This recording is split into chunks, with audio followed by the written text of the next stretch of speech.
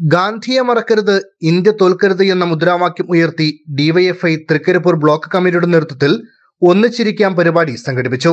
തങ്കേമുക്ക് കേന്ദ്രീകരിച്ച് പ്രകടനവും തൃക്കരിപ്പൂരിൽ പൊതുയോഗവും സംഘടിപ്പിച്ചു. K S K T U Kannur ജില്ലാ കമ്മിറ്റി അംഗം പി രമേശൻ ഉദ്ഘാടനം ചെയ്തു. നാത്തൂറാം വിനായക് ഗോഡ്സെ എന്ന് പറയുന്ന മനുഷ്യൻ ഈ മുമ്പിലുള്ള ആളുകളെ തള്ളി മാറ്റി ഗാന്ധിയുടെ കാൽക്കൽ വീഴുന്നു എന്ന വ്യാജേന.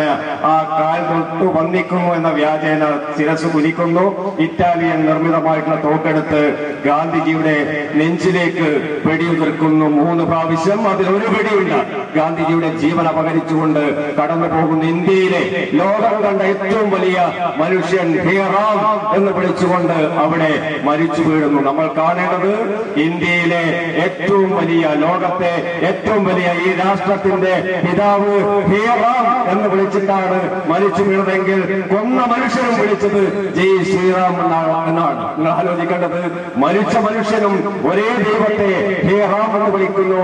കൊലപാതകയും ജയ് ശ്രീറാം എന്ന് വിളിക്കുന്ന. ആര്? ആർക്ക് വേണ്ടി?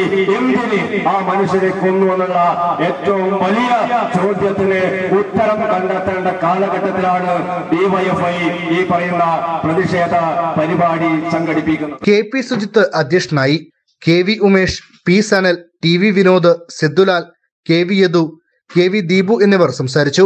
കെ കനേഷ് സ്വാഗതം പറഞ്ഞു.